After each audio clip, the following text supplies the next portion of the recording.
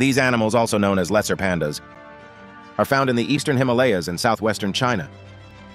They are known for their striking red fur and bushy tails. But there's more to these animals than their looks. Red pandas are mainly arboreal animals, spending most of their lives in trees. They are excellent climbers and spend much of their time lounging on tree branches or curled up in tree hollows. They even sleep in trees. They are known for their grooming behavior. They are very clean animals and spend a lot of time grooming their fur. They even groom each other, helping them socialize and strengthen their bonds. While they are omnivores, red pandas mainly eat bamboo shoots and leaves. They have a special adaptation in their wrist bones that allows them to grip bamboo shoots better. They also eat fruits, insects, and small mammals. Red pandas are playful animals. They love to explore their surroundings.